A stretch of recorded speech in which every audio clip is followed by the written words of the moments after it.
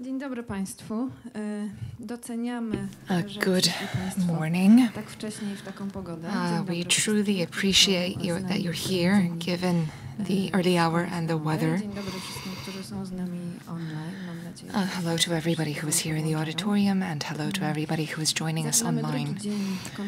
We are starting the second day of the New Visual Narratives Conference. Before I introduce our panelists, a few 12:15. organizational remarks. Uh. Uh, We will now uh, hear a panel about the essay film.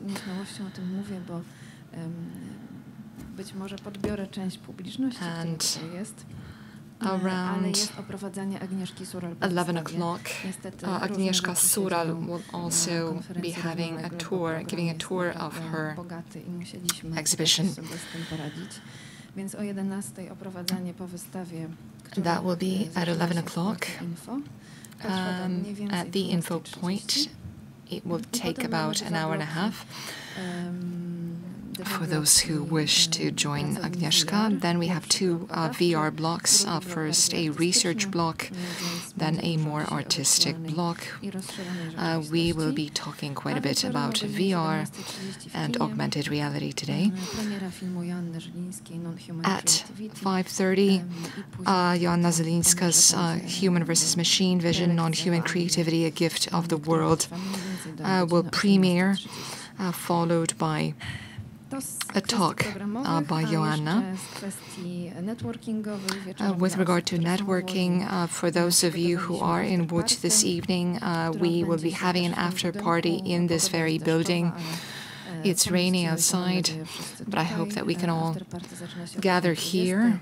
Uh, the after party will start at 8, and we'll hear from uh, DJ Monster um, Oramix and a VJ, uh, Michał Szota, uh, who has prepared some visualizations. Wszyscy, którzy jeszcze są w innych Uh, for those who are joining us, uh, zgłoszenie się na, em, em, na from other cities. za przybycie do nas dzisiaj na przynajmniej na tą drugą część. Uh, we invite you to come at least for the second half of the day or for the evening, a party. Pracowni eseju filmowego. So let's get started Um, on the Essay Film. Studio panel. We have quite a lot of guests.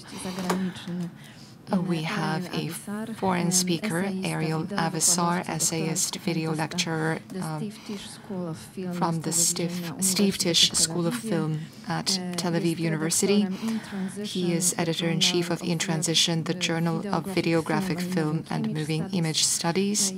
Jest współredaktorem plebiscytu. He also co-edited the plebiscite Best Video Essays. różne warsztaty, seminaria poświęcone He also runs various workshops and seminars devoted Ariel. Thank you to video criticism. us in Łódź. Mm.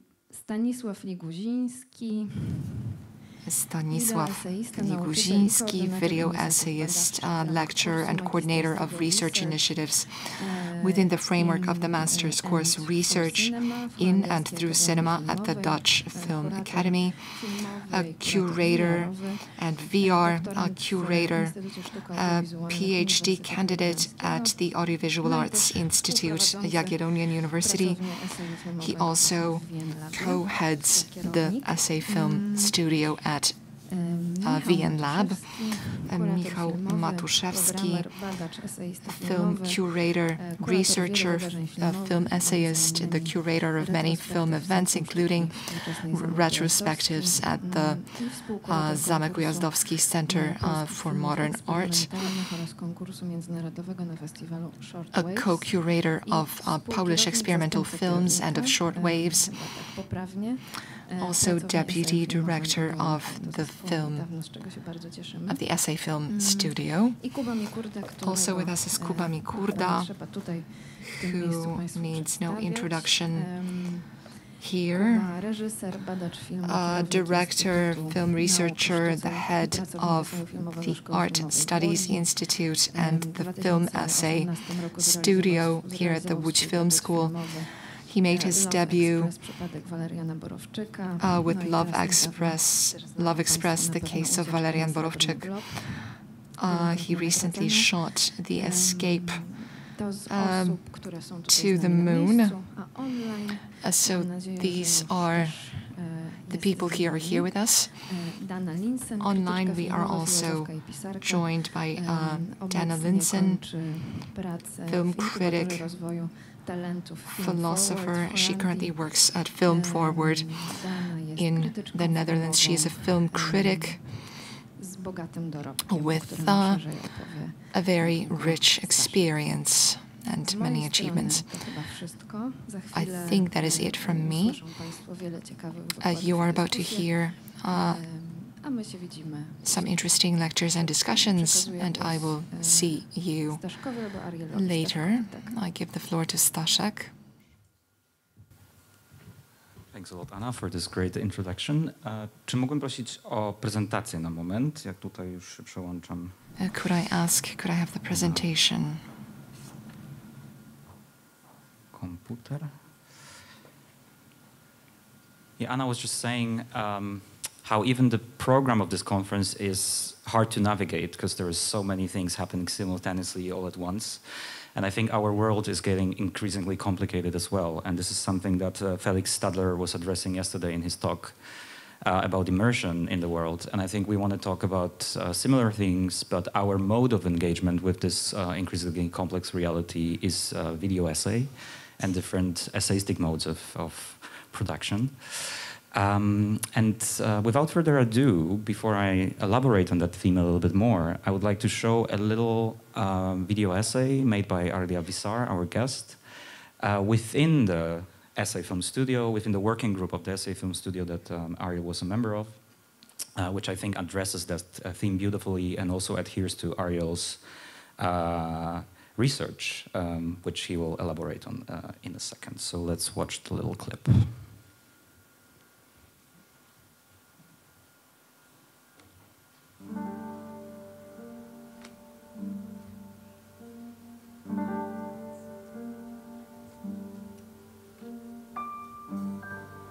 Can we kill the lights?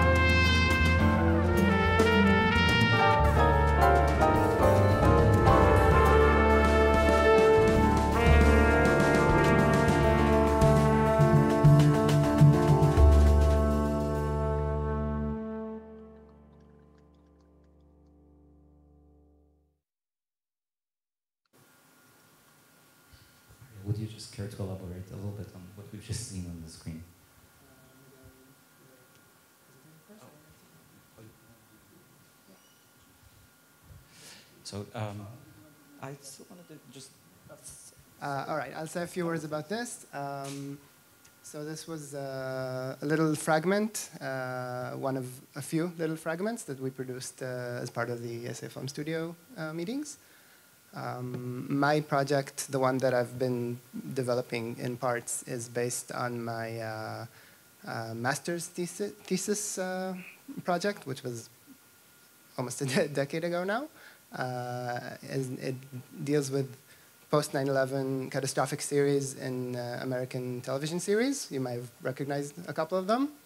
Um, and the, it started with the image of the, the conspiracy board, um, which is a very uh, familiar trope in, in American film and television. And I was looking at these uh, series, these sort of investigative uh, narratives. Um, um it's always against some sort of existential threat, some sort of a terrorist attack or alien invasion or um, some other sort of a global catastrophe, um, which, in, as I saw it, is only emblematic of uh, existential, broader existential threats in the network society, in contemporary postmodern society that's very uh, complex and uh, rhizomatic and uh, networked and elusive. So it's mostly an epistemological challenge, uh, some sort of um, attempt to connect the dots, which is the title of the project, um, some sort of uh, attempt to make chaos into something that's a, a, little more coherent, at least visually. Um, so this specific uh, exercise, following a session with Catherine Grant, um, is based on what is called the epigraphic mode, where you choose a quote from a theoretical text and try to uh, it in some sort of dynamic way with um, audiovisual elements. So that's uh, what's behind this little fragment. I just, I guess I just wanted, before I hand over the microphone uh, again to Ariel, and uh, he'll tell us a little bit about the field and uh, how video essays are being made at the moment. I just wanted to cast some light on the essay Film Studio itself. Um, we, me and Kuba, we've been both uh, working with this idea of the essayistic for over a decade right now, and I think we've seen this spark of interest in the last couple of years, and there's a huge emergence of different media practices that uh, pertain to this notion of the essayistic, and they are mainly re realized in a couple of different fields. So it's uh, in the in the context of academia, in the context of film criticism, on YouTube, uh, but also in art and in cinema. Uh, so we were really curious to see why there's this very particular historical moment right now that uh, that we observe this uh, this growth of interest, and also how we can encapsulate all those practices um, in in what way? Because essay is um, this heterogeneous term by itself. It's very hard to pinpoint what an essay could be. So we have to we have to delineate somehow uh, certain objectives for ourselves when we're going into this um, uh, task of setting up the, the studio um, here as a part of the VN Lab. And I think going into that task, we, we made a couple of assumptions. First of all, uh, we assumed that we're going back to the etymological uh, root of the word essay, so we treat it as an attempt. Uh, we forget that it has a history in film uh, the, the, essay film has its own history and its own acknowledged uh, forms and formats. Uh, you know, we all know Chris Marker, Agnes Varda, like all these established uh, filmmakers. But we try to look at it as a mode of practice-based research. So how can we use the medium, uh, audiovisual medium, as uh, Felix was actually calling for yesterday? How can we develop this new aesthetic of engagement with media reality that surrounds us, that is actually inherently rooted in the medium itself, in audiovisual uh, mode of practice? So we didn't treat it as a genre, but as a, as a, a method. And so then we felt okay, and, and, also as a sort of attitude, yeah, something larger than uh, than just of uh, film production, but a basic attitude of dealing with the world, right? So, so it's uh, even on this existential level or cognitive level. Yeah, thank you uh, for Sorry, operating. no, it's. It was uh, very necessary. But uh, going back to Ariel's uh, video as well, we've seen this associative mode of thinking. So those people try to uh, escape the impossibility of talking about the complex issues that they're facing by using a different media strategy for making sense out of it. And instead, they're using this associative mode of thinking of arranging things on the, uh, on the blackboard. So then we felt if it's an attempt, if it's all about the process of discovery, if it is about research indeed, then what conditions do we need to create for the makers to be able to actually engage in this kind of practices? And if we speak about the practice that we've been engaged in uh, in the studio as a practice-based research, then of course our research was about facilitation. So about creating a space and asking ourselves a question, how to create a space which enables essayistic practices uh, to uh, to happen. And this is what we wrote in our manifesto and this kind of opening statement that such objectives require specific means and conditions of production that provide uh, makers with the most precious of resources, the time and space to make the attempts. Um, so this is why I wanted to dedicate this panel today to the conversation with people who also in their own right make different spaces for video essays to flourish and for essayistic works to flourish.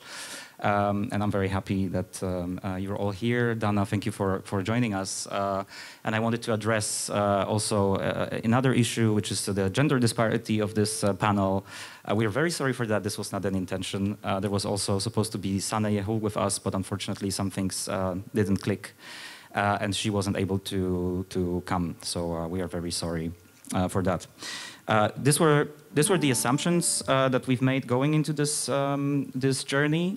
And I just wanted to very briefly summarize what the Essay Film Studio consisted of. We started before the pandemic, uh, and the idea, the first initial idea for the, for the studio was a little bit different. We were supposed to be meeting here uh, in Łódź, uh, having seminars in person, uh, you know, like trying to engage in these practices of co-creation, inviting makers to come here, make essayistic forms here in Łódź.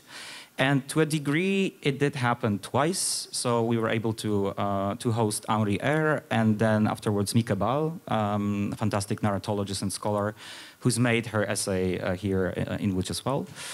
But then the pandemic hit. And on one hand, it was a problem. On the other hand, it presented us with a great opportunity because as we just said, we felt that there is this urgency and there is a momentum where you know, you could see the growth of essays all around the world in all these different disciplines and fields. So we issued an international call, uh, and the response was overwhelming. Uh, we, we had uh, really a great interest in those seminars and in the, in the uh, activities of the studio. Um, and like 300 people from all over the world, uh, yeah, basically. Yeah, so it, it was, um, you, you could see... No one from Australia, though. Yeah, no one from Australia, but we had pe people from Africa, from uh, Latin America, uh, from Hong Kong, uh, pretty much, you know, you name it. Um, they've been there. Um, so it confirmed our suspicion that there is a momentum and there is a need. Um, I'm going to ask Ariel in a second if it worked out, but there is a need for spaces like this. So, so for spaces that actually provide you with uh, those um, conditions of co-creation, feedback, community, time, space, and the expertise of, uh, of everyone that we've invited to help us on this journey. Because we felt, okay, if it's an attempt, if it's an experimental practice, then we want to learn more. We want to sit down together. We actually want to discuss. We want to engage in a conversation with makers that uh, have been producing forms like this before, are producing them currently, and producing them in all those different um, areas and circumstances. So art, film, uh, and online um, video essay practices. So here what you see on screen is actually people that uh, have been running our seminars uh, throughout the last two years. And for the seminars, we created a working group that Ariel was a part of, which was 12 selected uh, makers uh, who've been actually doing this kind of uh, attempts and essays and uh, different uh, experiments, uh, filmmaking experiments, as you could have seen in the beginning from Ariel. And I'm just going to very briefly uh, say who that was and what we were looking at, because that's, re that's related to the publication that is going to be coming up, um, hopefully in October. Uh, so uh, we have Eyal Sivan, uh, Israeli uh, documentary uh, filmmaker, whose focus was mostly on subjectivity and situatedness of knowledge. So this is something that Felix was also talking about.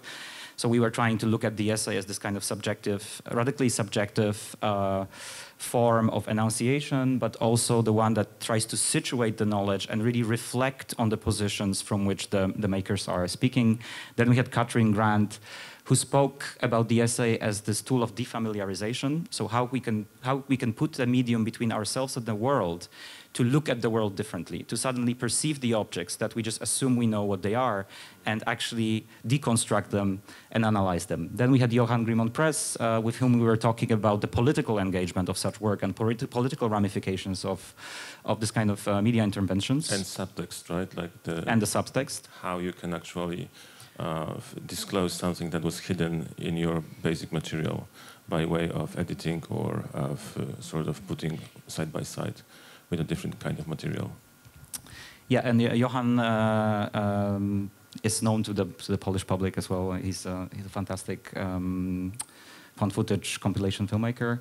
Then James N. Kienitz Wilkins, whose work you could have seen also in uh, yesterday's set of the essays that we selected uh, for you, who's, uh, who's working in more of a gallery um, circumstances, but also screening his works in, uh, in uh, film festivals. And with him, we were looking at this kind of media archaeology perspective. What, what can we learn through the essayistic uh, practices about the medium itself and its um, material ramifications? Then, of course, Laura Mulvey, uh, and with Laura, we spoke about um, several things, but actually, I think the most important one was also the historical context of media practices at the time and how they give uh, rise, basically, to uh, those new formats of, of essayistic, uh, which uh, Laura herself, like, she actually denounces the term uh, film essayist when it comes to her because she says it was a very different time uh, and with her practices with 16 millimeter tapes she was responding to a very different modes of filmmaking. And what she recognizes right now as certain continuity of, of those critical practices. But she says because of the media circumstances it's a very different uh, practice then Kevin B. Lee, um, a very well-known video essayist with whom we were talking about uh, desktop documentaries, so how to look at your own desktop as an actual mode of production for which we actually conduct research on everyday basis, and how we can replicate that in, in the essayistic. Uh, then Charlie Shackleton, uh, who've been this multi-mod, who's like this multi-model essayist. You've seen his essay on TikTok yesterday in the program as well. Uh, he's using mobile phones, he's using VR, and he's using all these um, um, multi-model practices uh, to engage with the essayistic. And the last seminar of this season was with Asaf Gruber, and we were looking at the uh, institutional ramifications of uh, what, it, what it means to produce within a certain institution. And this is going to be somehow, uh, I hope, uh, continued today, that, that uh, form of discussion. And still in September, we hope to host uh, Chloé Galibert-Laîné, whose other film, Forensickness, we could have seen yesterday. So beside the working group and all the seminars that we've had with those people trying to like put finger on what the essayistic is right now, what, what kind of gestures, what kind of make, filmmaking gestures are constituting that field of the, of the essay. Currently, uh, we also launched uh, a grant uh, and uh, for that, we issued an open call.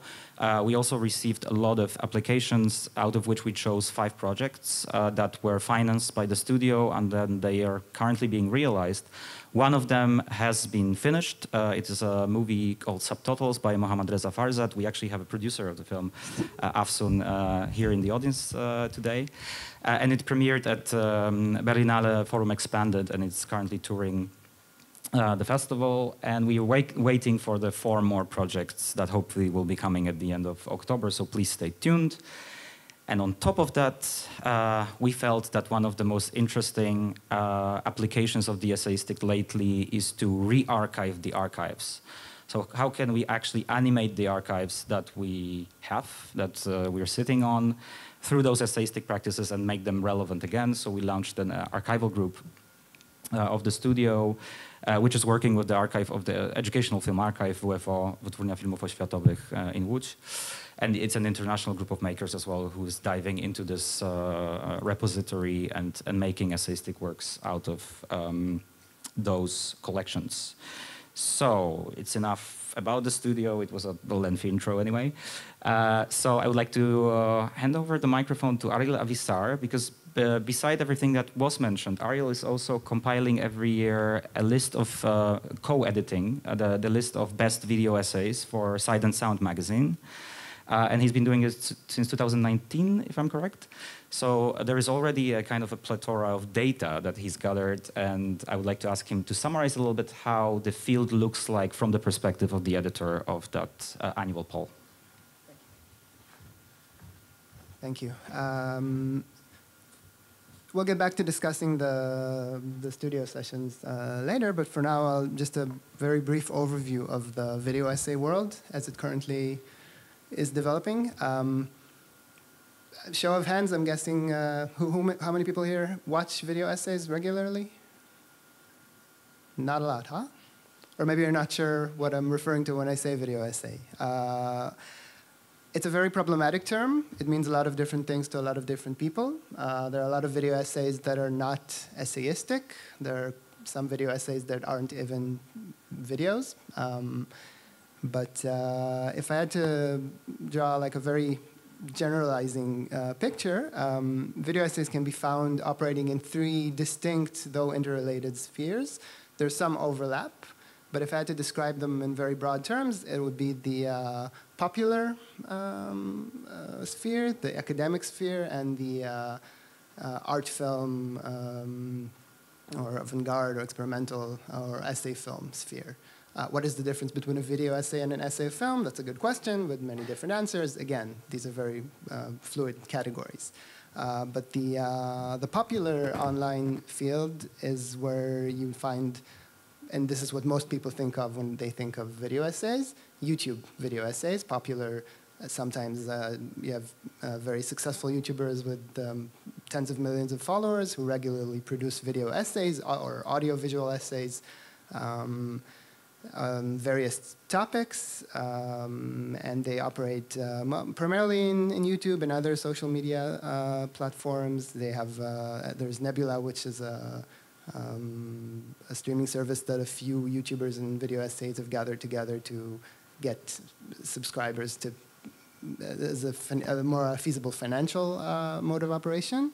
And it's uh, very recently also is starting to make its way into more um, um, um, mainstream platforms. Netflix had a series uh, produced by David Fincher, which is called Voir, if you've heard of it. Um, if you haven't heard of it, you're, you're not missing much.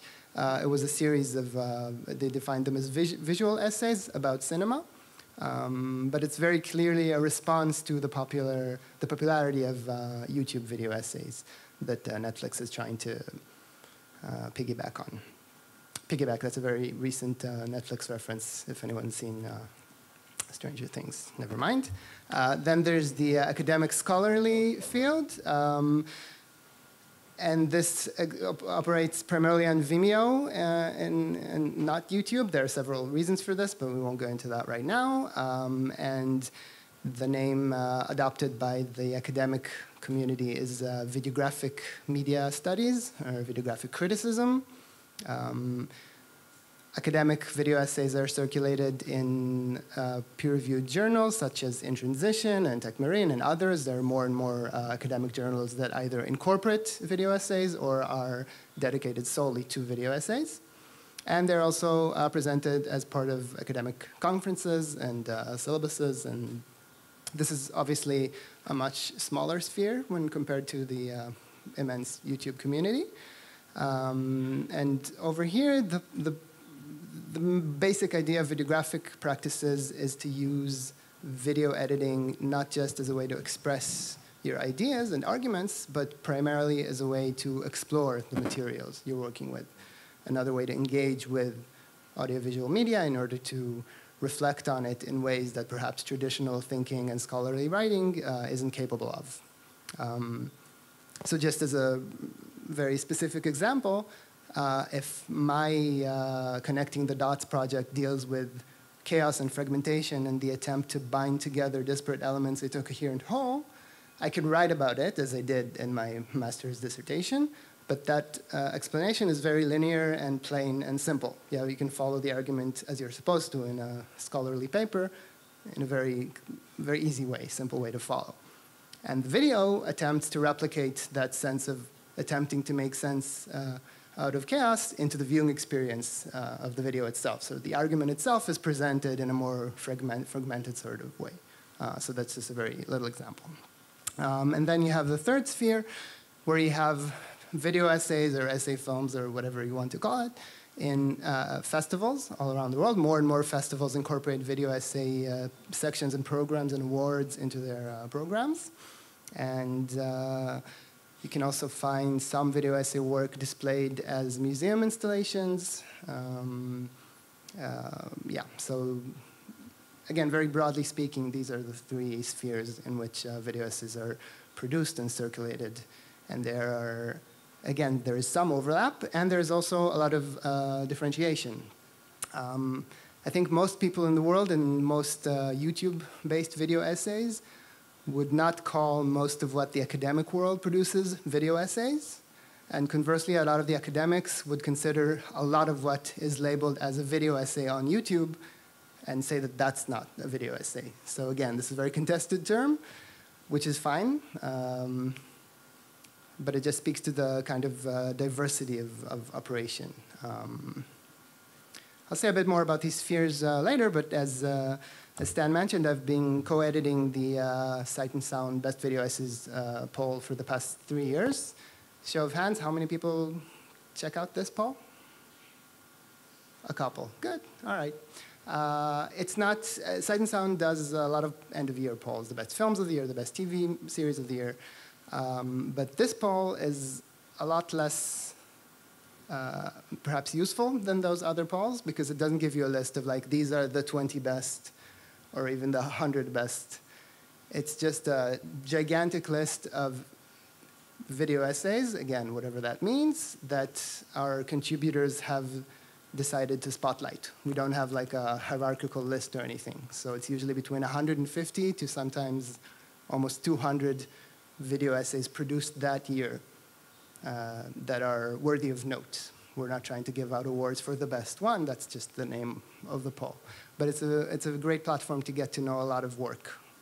Um, and just to give you an idea of how fluid the definition video essay really is, uh, just in the past three years when I've been editing it, we've been getting obviously a lot of uh, online video essays, but also short form and feature length documentary films and essay films, uh, some television series, um, some museum installations, a live performance, uh, Kanye West music video, a Twitter thread, and these were all proposed as some of the best video essays produced in the last few years. So again, the term means a lot of different things. Um, and since I'm a kind of a statistics uh, lover, I'm always uh, compiling numbers and seeing what kind of trends we can see. As much as you can point out any trends from just three years, but uh, just briefly present some uh, pie charts. I think I haven't made pie charts since high school, probably, so this was fun. Uh, let's start with the contributors uh, of the last few, three years. And as you can see, the uh, academic world is overrepresented uh, in the contributors as opposed to its size in the real world, while the popular YouTube sphere is criminally underrepresented. We've been actively trying to do something about that. It doesn't always work. We've had some years fared better and some years uh, more than others. Um, so this is one thing to say about the contributors. Uh, they are mostly uh, American or European, um, which is something else to try to work on. And uh, this is not great, but still better than, the, than this panel somehow. Uh, again, this is something we're actively trying to work towards. For example, inviting more uh, female contributors than male contributors, and still we get response more from male contributors. Perhaps there's, perhaps uh, men feel more attracted to uh, rating and polling. I don't know. We're, again, working, working on this. Uh, anyway, so if I look at the results of the last three years and the the contributors, um, the, the, the, previous three uh, um, uh, charts explain a lot of the results, the results that you can see here. So we have a lot of work from the US and the UK, and then the rest of Europe, and then the rest of the world. Um, And there are obviously a lot more uh, video essays on YouTube than Vimeo, and they get a lot more uh, exposure and views than the Vimeo uh, works. But again, since the academic world is highly overrepresented in the contributor list, this is these are the results. And we saw a, a direct correlation in a specific year where we had a lot more um, YouTube video essays contributing to the poll, there were a lot more uh, YouTube video essays selected for the poll. So it's almost like these two different arenas that are not detached from one another, but it does speak to some sort of myopia, I guess, in each field. Um, and again, since it's a, a mostly academics, uh, film uh, as an objective study is uh, the, by far the most uh, prevalent. Um, in YouTube video essays, you can find anything from uh, philosophy to politics to uh, gender, gender relations to anything else. It doesn't have to be about film or television, but videographic criticism obviously is more focused on film uh, above anything else. Uh, we did see perhaps, for example, in the 2020 poll and the year of the pandemic, there were a lot of video essays related to the pandemic and to lockdown life and also to the Black Lives Matter movement. So you can see these trends in specific years about topics that seem to be uh, to attract more engagement. Um, this is another thing to work on um, that is not great.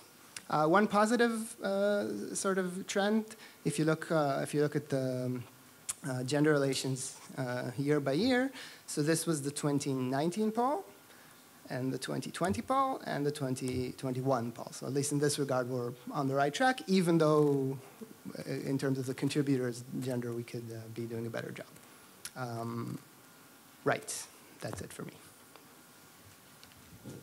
Thank you so much, Ariel. Uh, you created a beautiful leeway, I think, uh, for me to uh, hand over the microphone to Dana, like metaphorically speaking, the microphone. Uh, because there's been, I think, uh, Dana is really among the, the, the, early adapters and one of the first people who actually created, actively started creating spaces for this, uh, um, for this, this kind of uh, filmmaking format to, to flourish. And um, first, as an, if, if, I'm not, if I'm maybe I'm getting the chronology wrong, but uh, first as an editor-in-chief still of Filmkrant, you actually commissioned Adrian Martin and, and Cristina Alvarez López to actually contribute in an audiovisual form to a, to a film critical uh, magazine that, that you were uh, running. But then, of course, as a head, um, uh, co-creating with uh, Jan Pieter Ekker um, the Critics' Choice of uh, IFFR.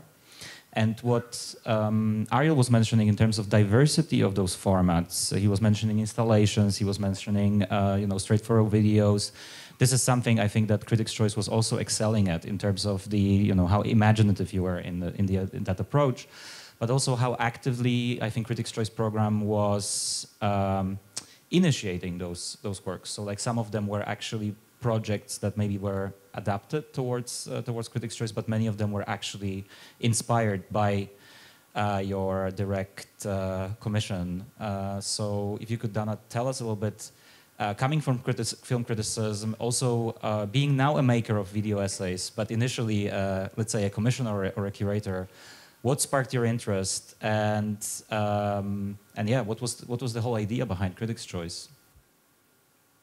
Wow, wow, wow many, wow, questions. many questions. First of all, First of um, thank you thank for you having me, for having me as a uh, as a speaker or part of this panel. This um, panel. I'm really um, honored. Really honored. Um, um, it's nice to it's nice see you all. See you all. Um, I'm sorry, we have a bit as, of a reverb. Just just a second, Dana. Uh, sorry yeah, to interrupt. Yeah. Okay. Yes, let me. And now. Another try. Another try. Is this better now? Is this better now?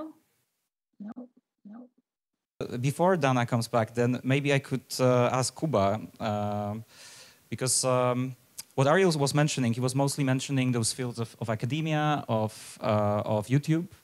Uh, but there is, of course, also kind of like the surge of video essay, or not the video essay, but essayistic practices also in filmmaking, I would say. And I think you're one of the really good examples um, of this.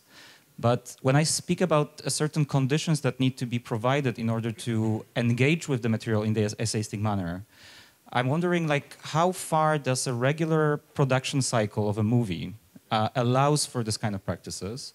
And also now you also have, because you, you are also now engaged in actually making an essay work within the studio that is based on Solaris, then how do, would you compare those two different modes of production? Like, first of all, working on your film, uh, Escape from, from the Silver Globe, and uh, now the works on, on Solaris Mon Amour. Yeah, can you hear me now? Can you hear me now? yeah, we're gonna we're gonna keep looking for a solution, and I'm, I just asked Kuba a question, so I'm, I'm gonna let him answer, and in the meantime, I'm gonna try to do everything in my power to to make it work. Kuba, can you can you yeah, I mean, respond? It's a very important question, uh, the question about the conditions of possibility of such practices, because basically, as you as you mentioned, I mean, it's uh, it's almost impossible in the sort of professional kind of mode. I mean, because of, uh, for, for, for one reason, uh, it's because if you apply for money uh, for your project, you need to provide a script, and it needs to be uh, quite often quite a long script uh, even when it comes to experimental documentaries. And uh, basically, it's like an oxymoron, like a paradox. Like you want to make an experiment, and you and you need to actually provide a script in advance. Um, so basically, obviously, there is a possibility of going around it by simulating what you expect to achieve, right, and to write it down on paper.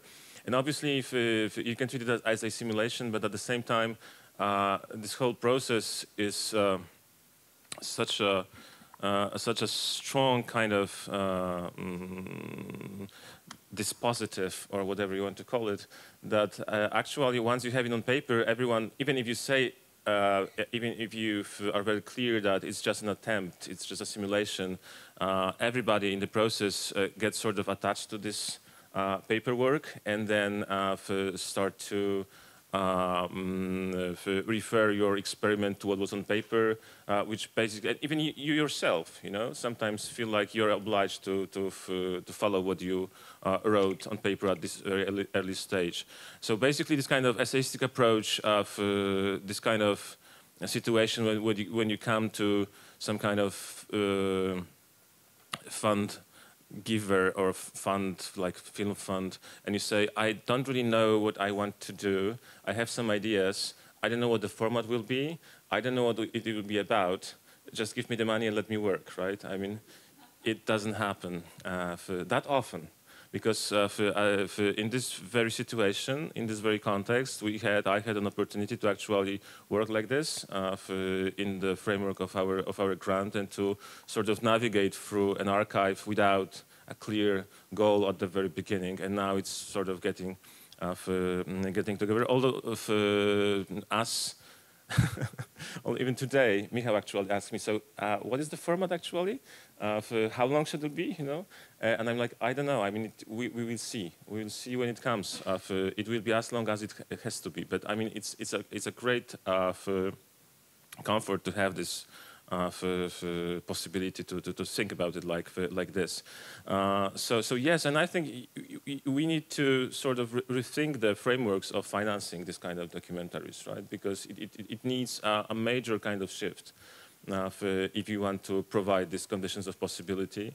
Um, the other thing is, and, and I wanted to, to, to say it, I wanted to address it here because we are at the film school, and actually Polish Film School in Łódź is the very first art school in Poland, and I don't know, maybe even in Eastern Europe, that allows for video essays to be produced as your master's thesis. And um, um, I, now I'm sort of boast, but it was my idea, and I put a lot of effort to, to make it happen. Uh, and we had uh, a number of, of uh, legal consultations if it's actually possible, but it is possible. And uh, for, for the first master's video essay was uh, successfully uh, defended a month ago, uh, for, which is great, and there are already two or three on the way. So for, I think the next step that we need to do is to provide our students with a sort of curriculum or way of teaching how to produce this kind of academic video essays in the context of this very school. Uh, but I'm really happy that it was the place and that for, mm, actually the uh, um, the, uh, the heads of departments uh, were very much supportive uh, in this respect. So hopefully every year we'll have two or three or five great video essays produced produced here, for, and it will open some kind of new video essayistic wave in in Poland. Uh, for, so yes, I mean, I'm comparing this to projects, just to, to, to, summarize it very quickly. I mean, yeah, I mean, Żuławski was a much more traditional documentary, and we applied for money from all these typical kind of funds. Uh, for, but but yeah, it was like for, for, mm, I had to follow some kind of pre-written ideas. And here, I mean, it's the most exciting uh, process I've ever sort of experienced because we're really going after the material and we're discovering and we're reshaping and we're reframing the, the, the film all the time, uh, for, which is, I guess, what the essay is all about. And where do you think that difference comes from? Like, what modes of, of inquiry does it enable that wouldn't be accessible otherwise? Yeah, I, I think it's this kind of hand-on approach that you actually have uh, think with the material itself. Uh, because if you need to write something on paper, it's usually before you start some kind of uh, in-depth research, uh, before definitely before you start editing, right? So hmm, now we have a reverb here. Mm -hmm. That that wasn't the solutions done. yeah, I mean, uh, so so so basically, you sort of you need you, you need to create your film uh, with just ideas not the materials itself. Obviously, you have some materials at the very beginning that you can embed in the in the script. But here, I mean, the very difference comes from the fact that mm, if, uh, we have a basic framework of where we want to get, uh, but at the same time, uh, we're trying to listen and look very closely to the materials itself and let them reshape our uh, conditions uh, even like for, uh, to a great length, actually, sometimes, the structure of the film, because we found something that actually will work on screen much better than we, whatever we, we could imagine before. So yeah, I mean, uh, for, mm, there is a difference. you could say that uh, you often use the word tactile and this kind of tact tactile engagement with the material. Uh, definitely this kind of engagement is much more tactile because it allows you to yeah, be very close to the material, but at the same time, tactile means that you don't have like overall perspective, you sort of touch things and you, you, you go with them, you explore them. Uh, sometimes you will burn, sometimes you will find something interesting, right? Uh, but at the same time, yeah, I, I, I, on the other hand, I would say that this kind of work is much more physical for me than beforehand. I mean, for, for the work on Żuławski was, was much more intellectual, and, and here there's something very clearly physical about the, about the process. I don't know how to call it, but maybe I will write about it some time in the future. And you mentioned as well that uh, Łódź Film School students are now allowed to, to submit their thesis in the video essay form. That there hasn't been so many uh, so far. But Ariel is someone who's actually been using a video essay also in education uh, quite extensively in your courses. So if you could maybe share a little bit your experiences with that with us, like how do your students respond to that? And is it only what Charlie Shackleton recognized in the TikTok video that we've seen yesterday, that there is different media interfaces that they are used to be working with, so it comes nat more naturally maybe to them to use uh, some of those tools uh, as the mode of expression. But does it go beyond that as well? Is there something that you think it enables them to do in terms of their engagement with media material uh, that, let's say, the classical uh, conceptual uh, written uh, approach wouldn't enable? Uh, yeah, I actually got started with video essays as, as a teacher. I would use them in class all the time because they're a very useful way to get your ideas across. Like if you're teaching film aesthetics, you can very easily show a three-minute video essay that uh, kind of uh, um, showcases like 30 different examples of a particular use of camera or color or something like that. So that was the first thing, as a teaching aid before I ever started making them. But then when I got into the videographic uh, practices, um, I started a course. I have a, a videographic criticism course uh, that's purely videographic. And I have to say that it's one of the most, it's been one of the most rewarding uh, teaching experiences uh, I've ever had. Um, students really respond to it. And it doesn't matter whether it's students who know how to edit or even almost every year I get at least a couple of students who've never touched an editing software in their life and they just catch right on and produce excellent work. Um, and it's uh, the course that I've seen students um, engage with in the most enthusiastic way uh, possible. Um, there's something very intimate about this mode of engagement with materials, um, as opposed to you know just uh, watching a film and, and, then thinking about it and maybe reading some papers and to actually play around with it uh, in the editing software. It opens up an entirely an entire new world and a way of uh, effectively engaging with, with the material. Um, that's just and and they produce. It's one of the most demanding courses perhaps the most demanding course uh, that we have at my department because they have to make, uh, they, they have to submit um, editing exercises every single week and other ex smaller exercises besides those. And they just do everything and more than they need to. They really spend a lot of time on this course. Um, and a lot of them have also uh, carried these um, ideas into other courses and uh, attempt whenever teachers allow it to incorporate videographic co courses and uh, practices in non-videographic and traditional uh, courses. Um, we unfortunately don't have the option to uh, do a videographic master's. I'm, I'm, I'm a PhD uh, student right now. I would have loved to have used videographic practice in that, but uh, it's, it's a new field. I mean, in Israel, it's a very new field. I'm, I'm basically building it from the ground up in the recent years. Um, but I, I, really can't recommend it enough for, for teachers and students. It's, uh, and, and it's also the sort of thing that you can't really understand the appeal until you actually try it. I mean, if I just tell you about it and how great it is, maybe it sounds good, but, but until you sit down and just edit something, it's hard to, to understand this, uh, this new mode of, of thinking. Yes, can you hear I'm me interested now? going back to interested going back to let's say our main topic of the conversation here because we see this disparity. On one hand, there is uh, let's say a, a, professional mode of production which comes with its own requirements, uh, which is quite limited in certain ways uh, with relation to works that are more experimental, more, more practice driven.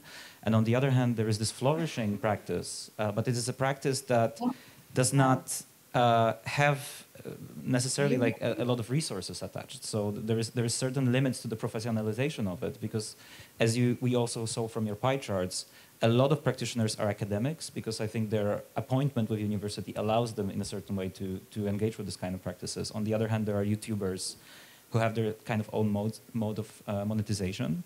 But there seems to be a lack of like a middle ground or a bridge if you want to build up your practice towards something that is a bit more uh, professional or something that is going to make rounds in the festivals, um, but uh, at the same time you don't want to adhere to those production requirements that come with, with professional film production, which is also guarded by the way who can apply. With Polish Film Institute, for example, you have to be a certified director in order to, to, uh, to apply for, for funds like this. Or at least pretend you are yeah. That's my case. So, so from from your perspective, Ariel, as well, I think I want I want to kind of do a detour as well to a question: What was in it for you when you applied to the to the essay film studio, and why you were interested? But also, like, do you see any bridges or like you know like those those middle spaces that allow for for bigger projects and for for a certain professionalization of of the of the production? No, yeah, maybe we could. Oh yeah, uh, I think Dana Dana might be back. How is? Oh no. Yes. I mean, yes. sound okay now? Yes. Perfect. Mm-hmm. yes, you're back with us. Um, yeah, that's great. Uh, we have applause uh, now coming from the room. Uh, so maybe before uh, we before we go to this, uh, maybe we can revert back to the question that I asked Dana uh, so so we can come, kind of come back to the to the beginning. I don't know if you if you still remember uh, Dana, but uh, but I was I was basically yeah yeah. Um, oh, so yeah. First of all, thank you for having me, and um, I'm really glad that you managed to solve the uh, the sound. Um, so my initial interest in, in video essays actually came from my practice as a critic and an editor-in-chief of Dutch film magazine Filmkrant, um, where I was always looking for new uh, modes of expression, new formats, um, and ways to uh, reinvent criticism. So when uh, the video essay kind of became a little bit more of a common practice, um, maybe already 15 years ago, I was trying to look for ways to incorporate it in our editorial practices. Um, the biggest um, problem at that time for us was that we were dealing with new films, so how to get access to new films um, instead of um, a research practice on films that were already available uh, on some form or in some digital format. So that kind of um, became a dead end street, and then we uh, we did some little experiments. Joost Broeren uh, of the, current Filmkrant team was one of the people that started to make video essays, and um, then we asked Adrian, um, who we've known from uh, from certain projects that we did before, also that had to do with uh, new forms of criticism, and then actually uh, we spoke with the Rotterdam Film Festival, and uh, they asked Jan Pieter and myself to uh, bring the Critics' Choice back, and then we said, okay, but that would be the perfect opportunity to work with new films, um, and ask the, the, the directors um, to make their their films available for this form of criticism, and since there was no real um, how to say it, practice or corpus or tradition in uh, having uh,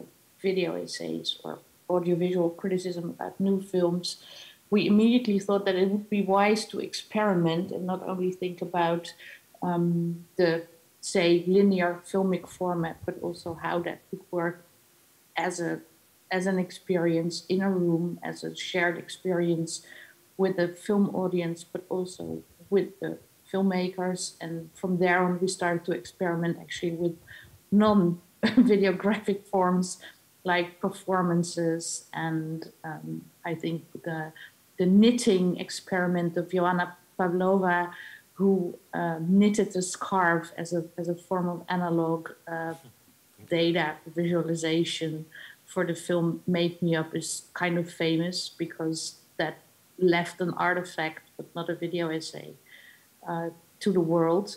And from there on, we, we were invited to make video essays for the Vive Cinema exhibition last year uh, when Rotterdam celebrated its 50th anniversary and collaborated with the Eye Film Museum.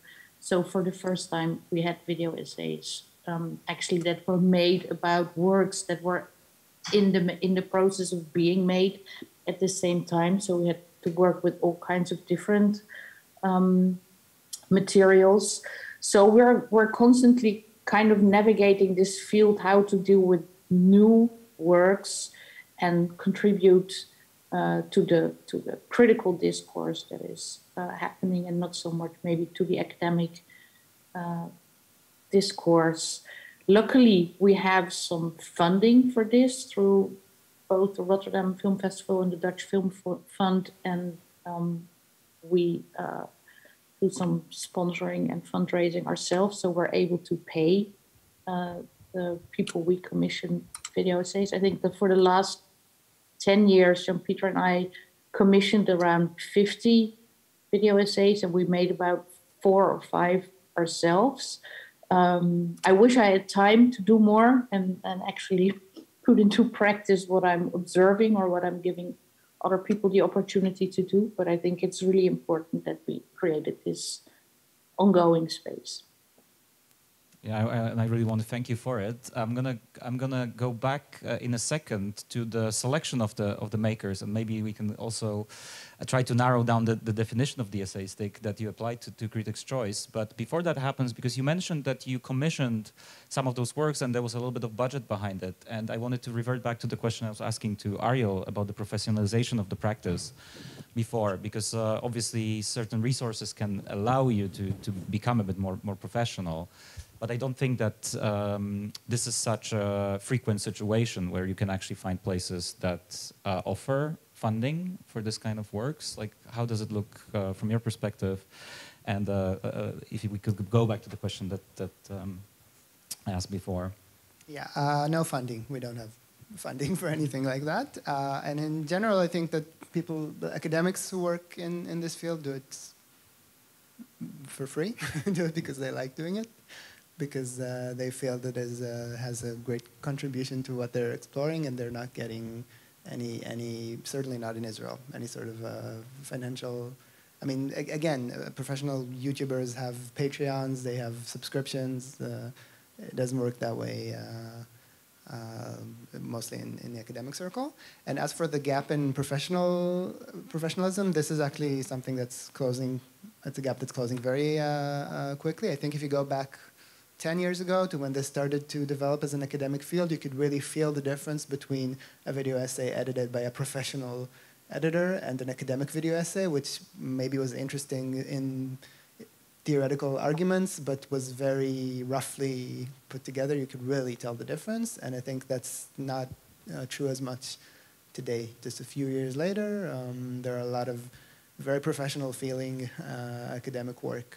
Um, and while I mean it's easier when, when you're only editing um, professional materials and not, you know, it's not, it's not a production in most cases. There aren't a lot of video essays that um, um, film their own footage, unless it's the desktop documentary, which is a whole different uh, type of field.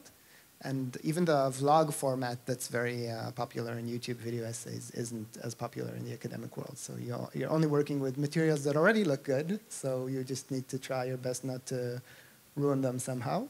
Um, and even myself as an academic, I've, I've had some of my work screened at festivals here and there, uh, even though this was not like my intention in making them. Um, but I think, again, it's a gap that's not disappearing, but it's not as uh, substantial as it once was. Uh, we've seen over the years like more and more essays being actually featured in the festivals. This is something we hoped we could talk with Sanne a little bit more about. But obviously, Forensickness, for example, that we've seen yesterday in the in the essay program that was screened at FID Marseille and uh, Jihlava. Uh, I think uh, um, Kevin B. Lee paved the way with Transformers Premake that also got um, um, selected to, to many, many festivals. But I think there's something interesting about the notion of professionalization. I teach essay in a film school, so I teach to film professionals. And that's interesting because their first response often to, to this idea of an attempt is actually withdrawal because they are so obsessed with the notion of prof professional production that they are afraid to try and to come up with something that might not look perfect.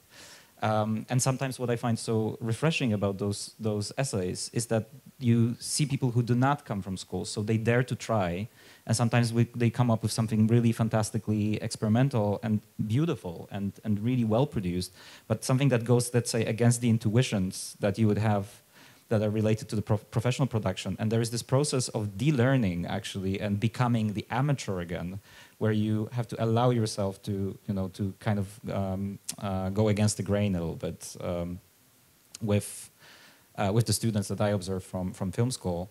I don't know if it's your your uh, experience as well, Kuba, here in uh, in Łódź Film School, or.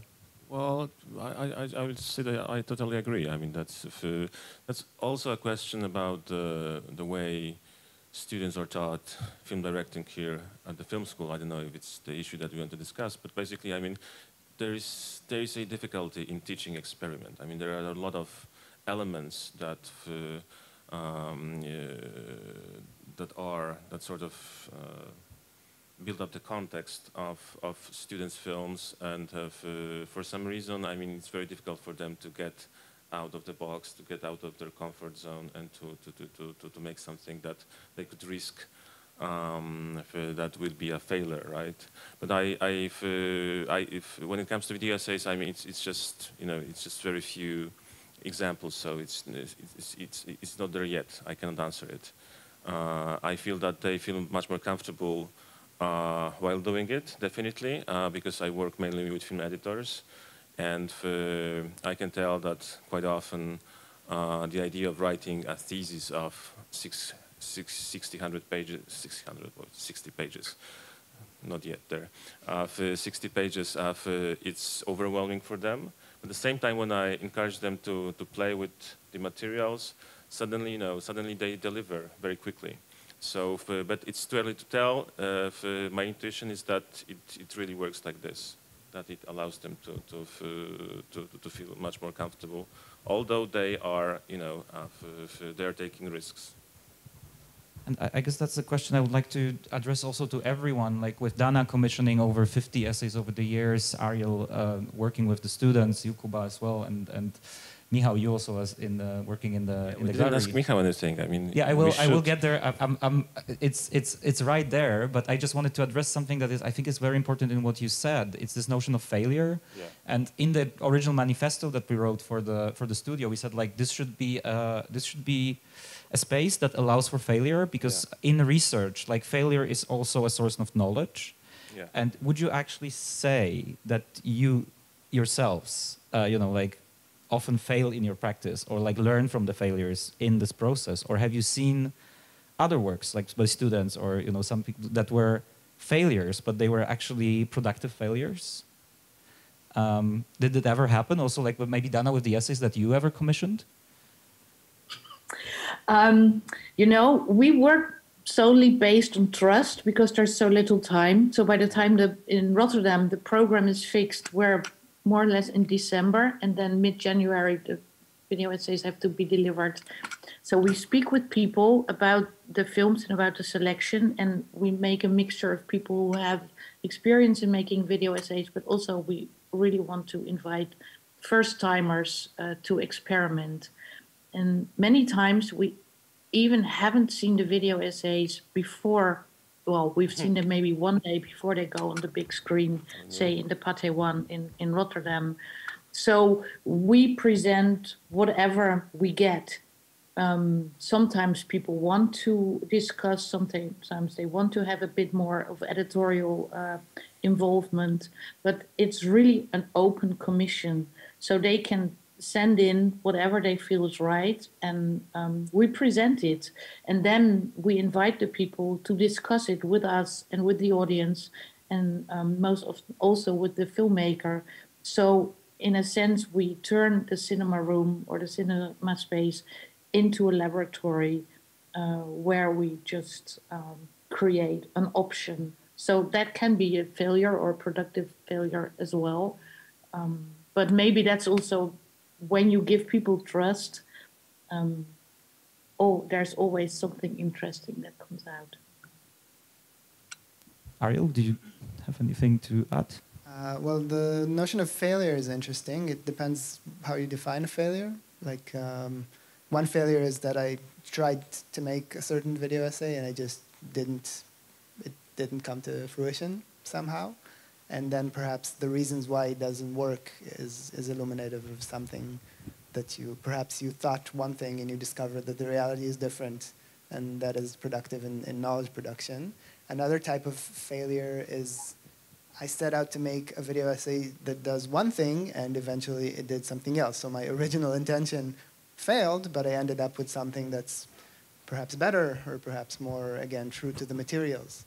Um, I could even speak of my ongoing uh, work as part of the uh, essay film studios is a sort of failure because my original intention was to make uh, my original intention was to take my again my master's dissertation exploring uh, post 9/11 American television series and uh, translate it into either a short film or a series of short like a web series that's explanatory with a voiceover that's basically the, uh, my argument from the thesis in audiovisual form.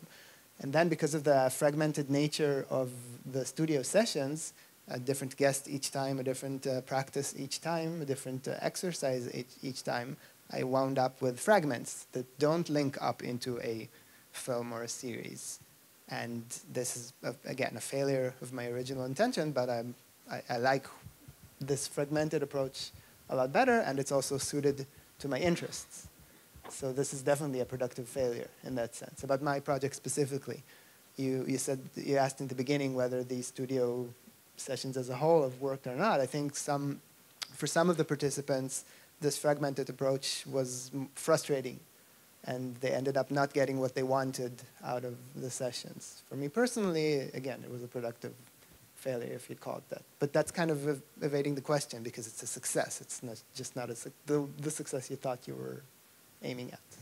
I mean, I recognize it very well because I set off over a decade ago to do a PhD on, on the subject. And then I ended up doing a VR piece and like various video essays and a lot of different productions and workshops and stuff like that. But the PhD never happened. And the clock is ticking. Because it wasn't on the cards. No, but I think we always like to liken this practice, and we say it's a different type of epistemology to a, cer to a certain degree. And uh, there is this uh, beautiful text by Vilém Flusser, uh, where he likens the, this to a gesture of making, and he says, think about it that normally uh, this is something that Felix was talking about as well. Like our idea of of perceiving reality is very much based on the sense of uh, of uh, seeing, uh, on the gaze. And he says like, what if we thought about knowing the reality, but through the hand and not through the eye?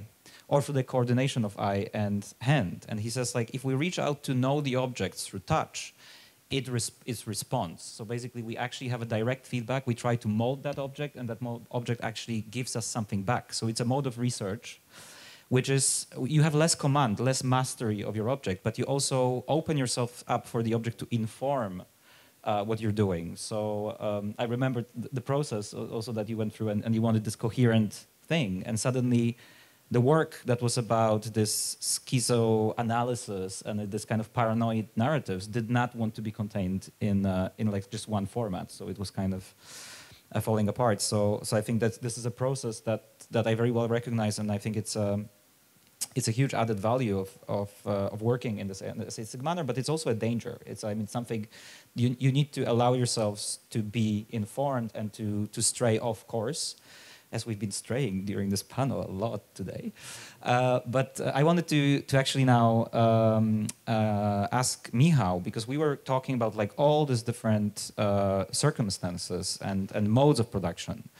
Uh, because like in a lot of contexts, like I think in the US, uh, a lot of this essayistic practice came from fandoms. So really from the from the um, from the fans that or from film critics that were actually addressing the media objects that they were working with. That's the same that uh, Dana was just saying about you know appointing Adrian Martin.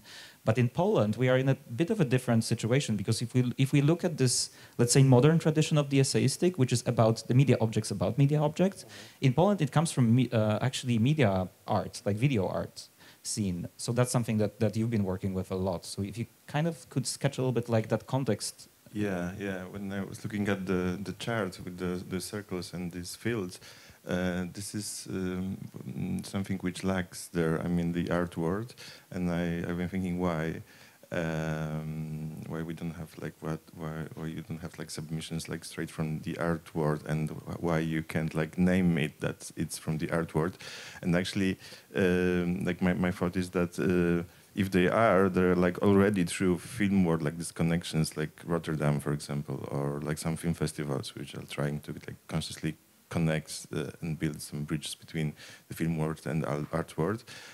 And this is uh, basically something what which I, am trying to do for a while, um, both as a as a curator of the cinema in the in the art institution, but but I think that with most success, and this is interesting uh, as a as a programmer uh, at the short film festival uh, with the Polish experimental film, uh, Polish experimental film competition, and this is one of the tools of building these bridges, I guess, because most of the of the submissions we have are from the art world, art schools, art academies, or from the artists. Um, so, like, I think that what you like, what we are discussing till now, this is like uh, to get back to the um, like the definition of the essay. It's something like some some practices, various of them, but with this notion uh, and this like conscious notion of being as essayistic somehow whereas like in the art world like from decades or like at least uh, kind of like we have this like very similar pra practice uh, without these uh, conscious notions of being essayistic at all. Those are like video arts, like these gestures. Those gestures uh, were there for a long time, but in a very different context. And I think that what we we could discuss and what is like very necessary to discuss are those different uh, types of like institutions with this with like their like habituses and like and the ways uh, like for example how artists are being taught and like the how the artwork works and uh, to think about those possible like bridges, uh, bridges and connections that we could build. I mean, like the um, Essay Film Studio is one of those tools, and I, for me, um, Polish Experimental Film Competition is another tool to build this bridge. And for example, uh, this year we had two films awarded, and both of them were like our video essays, but without this notion of being video essays, uh, because they're like straight from the uh, art world. Uh, um, one of them, uh, which got a special mention, um, which is called uh, "To My Friend's Room, Hotel Monterey." It's basically it's it's it's a, it's a film made by Jan Domic, a young artist interested in architecture and he did a film about architect. He connects architecture and film theory, and he built this on the found footage from Chantal Akerman's Hotel Monterey. But he, like his way of working was like very artistic. Like he did the piece for Warsaw, Warsaw, Warsaw Gallery Weekend, and he first he filmed something and then somebody showed him uh, Chantal Akerman uh, film and he was like oh yeah so she already did it so actually I could use it. Uh, so like for me with this like notion like and being part of this like consciously uh, this is pure video essay but for him it was like one like some things that artists are doing. So this is a question of the of the language as well of this um, of these traditions that we are dealing with and the questions like whether do we even need to translate those or not or maybe at some extent and what what tools are we need for? Because like we could of course think about more tools. Um, and this is the question of money so because you mentioned that there is uh, the institutional differences, and so what do you think is so different about the conditions in, let's say, art schools, art academies, and the, the, the art world that was so encouraging for this kind of practices that was maybe different? Kuba already spoke a little bit about the pressures of the film production. Uh, that are difficult to navigate. Uh, so you think it, it's just? I mean, I don't believe it's just a lack of money, uh, but but so what what what what are these, these conditions you think um, yeah, this is something that I mean, like I'm not an artist, like so. This is like something that I observe from um, from some distance, but like con consciously as a, I'm like I'm like my background is like I, am from the film world. I like I identify myself as a cinephile, and I wanted to be a film critic. And and when I started to work at the art institution, I started to observe the art world and like how how it reacts. And like so, I was like surprised many years ago, and I worked on that like for years. That artists they don't have even notion of making films. I mean, like the way they are being taught at school is like this is art, this is video art, this is like one of like uh, many you know means of expressions and uh, many tools. I could make a sculpture, I could make a video. This is like basically the same. And for me, it was like oh, oh those are films. So yeah, we, let's screen it at the cinema and put it in the I don't know film festival or something like that.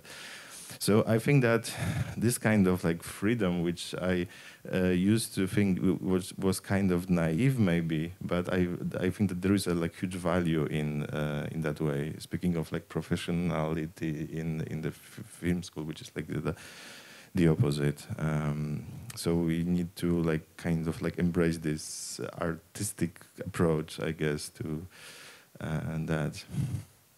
I think this this was one of our goals when we set up the studio to kind of break down these walls. And for for the working group, we invited people coming from all these um, um, paradigms. Uh, Ariel, who comes from academia, but there's also Polish visual artist Jakub Wojnarowski, who's in the group. There's also awarded documentary film filmmakers like Mohamed Reza or uh, or Mila. Uh, so, so this was the attempt to to kind of spark a conversation and see if we actually share uh, common interests which is interesting because it seems that we do, but there is very strongly embedded uh, sets of expectations as well towards uh, the professionalization of it, formats. Uh, you know, like, can do you agree for something to not adhere to the formats that you're looking for? Uh, and of course, like then there is kind of uh, discrepancy between what you make and what is then accepted in the in the regular distribution circuits because I mean we know that for example there is still a division between fic fiction and documentary. There is still a division between short film and full features, which is suddenly creates this huge gap between movies that are over 30 minutes and below one hour, which a lot of those essays, even shown in the program yesterday, are.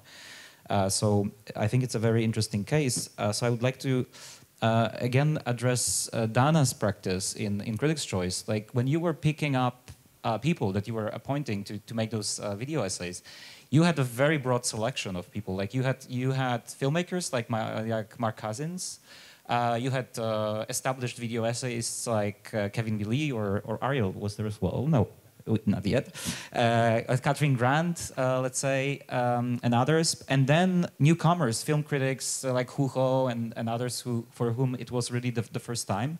So what was for you the selection criteria through which you said like, okay, those people are capable or those people I'm interested in appointing as, as those video essayists. And there's also a very interesting example of Bianca Stigter, who's uh, shown uh, the work in progress of uh, three, three uh, minutes lengthening, I think three or four years ago already.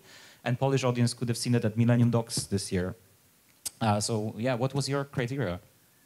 Um, yeah, it's a little bit like how you edit a magazine so you try to connect the right writer to the right film or it's like bringing a program curating a program together where you feel like you need to have a variety of voices.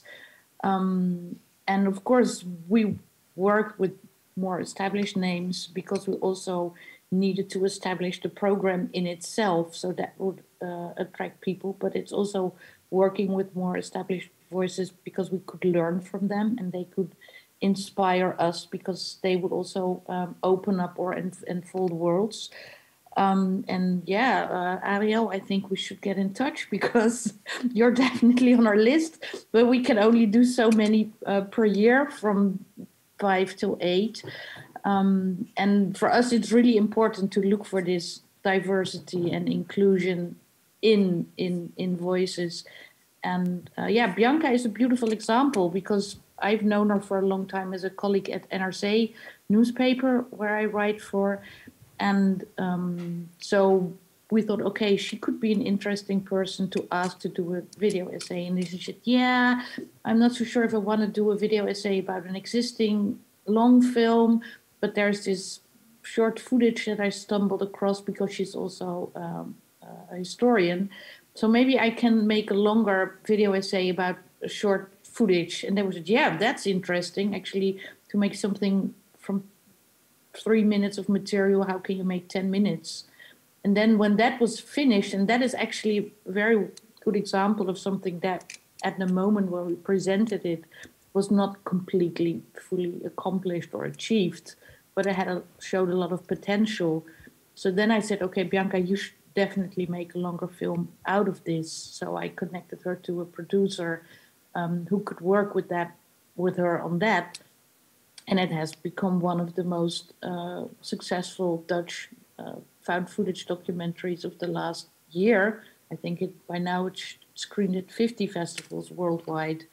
Um, so of course that's amazing when something like that happens. But as I said before, it's really about creating um, a, a, mix, like um, where you have new voices and established voices, and also sometimes uh, encourage more established voices to do something that they've never done before. I think Kevin, for instance, uh, had did some great experiments, a video on uh, James Benning's reading, where he didn't have access to the footage, or Catherine made a, a, a video essay for uh, Vox Lux, which is a, quite a commercial mainstream film, and uh, usually we, in the end, we get access to the footage, but in this case, we didn't. So she decided to focus purely on sound. So imagine having like one of those big multiplex screening rooms in Rotterdam. I think it was really the Pathé One um, and all of a sudden you start a video essay, but it's just a white screen and it's just sound. So it's also giving something to an audience, like something they're not really expecting uh, to experience in, in front of a film. But for me, this is like my background as a chief. It's really about opportunity, inviting challenging people, and at the same time uh, create one work. Uh, so every edition of Critics' Choice is also like an experiment where together we figure out what we were doing that year or what would be the theme or the overall uh, structure of that.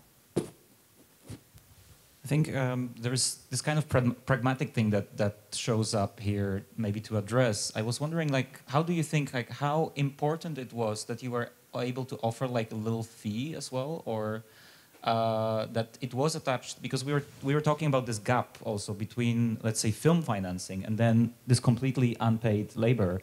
Uh, or the labor that is attached to your academic um, uh, advancement that is there. And then there seems to be no uh, or very little opportunities where you can get paid uh, or like create this kind of work uh, within its scope, within its uh, modest, uh, let's say, formats and scopes. But uh, what what do you think, Dana? Like, was that a, was that an important factor, or? Yeah, but that also has to do with the fact I've been a freelancer for 25 years, and I do a lot of stuff for free because I'm crazy. But uh, when I ask other people to work for me because it's work, I want to pay them. So from the beginning, when I was editor in chief at Filmkrant, um, we just made a point of it to pay people for their work. And uh, so a lot of my work as an editor, but also as a curator over the last uh, uh, whatever 25 years, and also the work I do for Film Forward now, where I created this residency for uh, people working in audiovisual media. They also they get a stipend so if for me it's just like I I don't ask other people to do something for me without paying them, um, and that means that a lot of my work deals with uh, applying for funding or finding sponsors, and that can be micro payments and it can be micro sponsoring. But in the end, I just want to offer people something, and then I can maybe do it for free and self sponsor and be crazy. But I don't have because I think maybe the situation in academia depends on your on your contract, but at least you have some form of a salary. But if you don't, and most people working as, as critics and filmmakers, they don't have a salary. So I, it's just a matter of decency for me to pay them for their work. Yeah, it, has been very interesting for me coming as an outsider also to, to film world that um, if you compare it to, let's say, the, the, the media practices in writing, it's so different because there, there seems to be like kind of no intermediary solutions. So I had a student uh, last year as well who's a classically educated filmmaker, but what she said at some point, she said, you know, it's very weird because for me, filmmaking is like any other practice, it's like a muscle. So basically, you get to practice it. But the problem is that you get to practice it every two or three years when you get funding to get on set and actually engage in working. And she says, and she came to the school and to this master program in, in Film Academy because she said, can I find a way for myself to be engaged in this practice and to train this muscle every single day? Uh, and of course, you can look at this kind of avant-garde practices like, you know, Jonas Mekas or something, you know, where you, where you just make those journals um, all the time. But if we're thinking about the structural, in the structural sense about these practices, it's very interesting because we have this proliferation of screens right now. And it seems that if you're in one field, you just produce for one type of screen. So if you're a filmmaker, you just produce for a cinema screen. Either it's short film or it's a long film. But she was also asking, it's like, how is it that when you're a writer, you publish a book every three or four years, but then you write, write essays, write reviews, write articles, you know, like all kinds of media outputs, where you can train your, you know, your your craft, but also re quickly respond to certain things that are going on around you, and not, you know, spend four years to to make this uh, a long response. So I think like that's that's something really to think about, and that was my main one of the, my main concerns when we started this whole uh, journey. And moving forward, I really want to also try to think this kind of spaces and places, how we can create them. Uh, and I think I wanted to ask, uh, going a little bit outside of the issue of money, but but in terms of organizing and mobilizing the field, um, you've done two very interesting projects lately. Um, uh, one is Once Upon a Screen, which was co-edited with Evelyn uh, Kreutzer, uh, and the other is TV Dictionary, which is your uh, your uh, own uh, project, let's say. And this was also a, a kind of an attempt, without building an actual place and space, but but to create circumstances and conditions for other people to get together and engage in this kind of practices of maybe not co-working, but like a mutual response to a call or a subject. Uh, can you can you elaborate a little bit on those two projects? Yeah, sure. That's been uh, some of the most uh, rewarding experience of the past few years is these collaborative projects. Uh, Once Upon a Screen is a, a, collection of video essays that deal videographically with uh, childhood cinematic traumas. So each person chose some film that scarred them as a, as a child and made that into a video essay. Uh, the first volume was nine video essays that was published in 2020 in the Cine-Files Journal. Uh, some very interesting work there. And we are actually right now uh, close to finishing the second volume, which is expanded to 16 uh, video essays, and you can expect that uh, later this year, hopefully. Um, so it's really a communal um, experience of working together with other people. In, in the second volume specifically, we we made it so one person wrote a text about their own experience, and then someone else had to make a video based on that text. So it was collaborative in, in more ways than one. I'm really proud of that, uh, that project. And the TV dictionary, I started as a fun little uh, summer exercise. It's, uh, the, the premise is um, make a short video that tries to capture the essence of a TV series using one word. You take the dictionary definition of that, of that word, and you take clips from the series, and you just make that into a video. Uh, so I made a couple of uh, examples and then invited other people to join. And I think we're currently at uh, 51 videos in the dictionary and uh, counting. Uh, there's been a lot of, uh, I was very warmly embraced by the videographic community at a time of lockdown where there was very little face-to-face -face contact. So these kind of collaborative experiments really foster a sense of community. it's a good way for people to to hone their craft, as you said, but also for new people to kind of uh, uh, dip their toes in the. If they're they don't have experience, it's a good way to get started using the support of the community. Um, so you can check out those projects and join in if you'd like. If I'm not mistaken, the latest entries by Jason Mittell, who did, uh, or by Johannes, who, who made a. Yeah, uh, Jason Mittell, if, if you know him, is one of the key figures in the world of videographic criticism. Uh, we just presented this week actually at the Critical Studies Conference, uh, Critical Studies, Television Studies Conference, I'm sorry.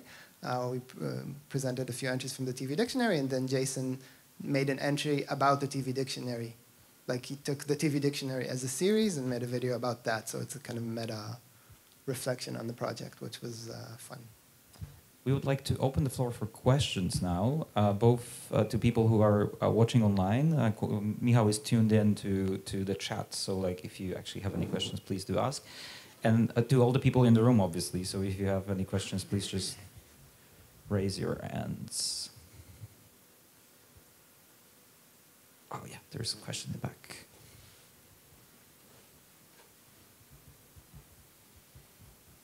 Hello, uh, Lauren Dubowski, and I have a question. I'm, I'm interested in this. it's kind of going back earlier in the discussion to you know what counts as a film essay. Um, I'm new to the idea myself, so thank you for the opportunity to learn about this this whole world of, of creation and and research also. Um, but I'm curious, but I could feel myself during the discussion saying, okay, if this is a film essay and not you know, a documentary or you know, showing the wide range of, of projects and the context in which in which they're created. But beyond this question of like categorization, I'm just curious to hear from everyone, um, or anyone who would like to speak to this, what is uh, valuable about uh, using this term uh, film essay in this context or what's meaningful or like sort of what in in practice what does it do to use this term? Well i guess it's an umbrella term right? For, it's an umbrella term for different attitudes and different uh, approaches. Uh, and definitely um, uh, we we produced some more or less defined features of maybe what an essay film is not, right? And uh, but at the same time, uh, the essay essayistic approach as such has a long uh, history in literature, right? And there were a number of, of attempts of defining what an essay, uh, literary essay is. And for example, um, this element of heterogeneity and synchronicity and, and the only sort of space that allows for um, such different um, dialectically uh, for, for, different elements to be put together and to somehow work, right? And uh, I guess maybe this question of an essay could be turned around and uh, uh, I, I, would say that it's a very similar question to why do you use the term collage, for example, right? Like, is it, is it, and it's, you know, uh, obviously, we know what collage consists of, but at the same time, for, for maybe we could get uh, for, um, along without it. For, I, I, think it's it's it's uh, for well, we need it to, to, a certain extent. We need it to, to actually delineate uh, for a, a, a, field, but at the same time, uh, and to differentiate this, this, field from more traditional fields of uh, fiction filmmaking or documentary filmmaking. But at the same time, uh, for, it's a term that needs to be constantly revised uh, because an essay, uh, and this is one of the features that we sort of uh, agree, uh, agreed on, uh, it often works with the context, and it often works, it often piggybacks as a result on, on something. So basically, mm, and, and for, for, so, so, it basically it depends very much on the on the context of, for example, media distribution of certain historical moment. And uh, for, um, for for this reason, it needs to be constantly uh, redesigned and reinvented, right? Because this context changes, so your involvement with this context changes. Uh, for, um, uh, and as such, I mean, it has to be sort of uh, in uh, constant motion. At the same time, uh, for, I, I, think I, I, wouldn't drop it. I think this element, this etymological element of trial, for, of experience, because it's also somewhere there, right? For, uh, experiment, experience, trial, uh, attempt. I mean, it's uh, it's something. It, it's like a, like a direction, maybe, right? Uh, it's not a definition, but it's like direction that we would like to take our projects uh, for, for to. I don't know. If it answered the question. I mean, it's a very difficult question, basically, and you tried to answer it for like four years now, and you still don't know the answer. But but basically, we sort of come we managed to, to, to, come up with some ideas.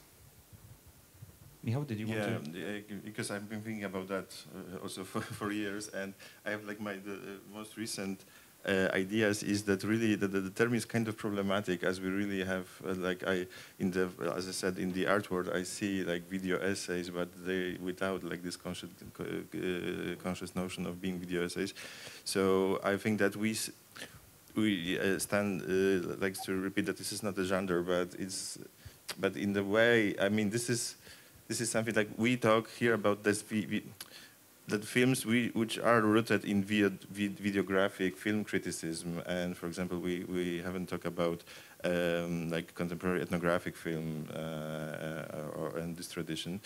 Um, so for me, this is, but I'm, but I still think that this is super useful tool, uh, like to use this term and like in the way we did it and uh, we are doing at the uh, at the studio, like to like to spotlight this this methods. And I think this is, uh, and um, of course, It, immediately problematize it, right? Yeah, yeah, yeah, yeah, yeah. So we, we are like not, not naive about that, and uh, of course we need to remember that uh, almost every term in like film theory is problematic. And like to get back to John Grierson, like guy who invented the term documentary, he invented it like in the same sentence. Uh, he wrote, uh, "This is a."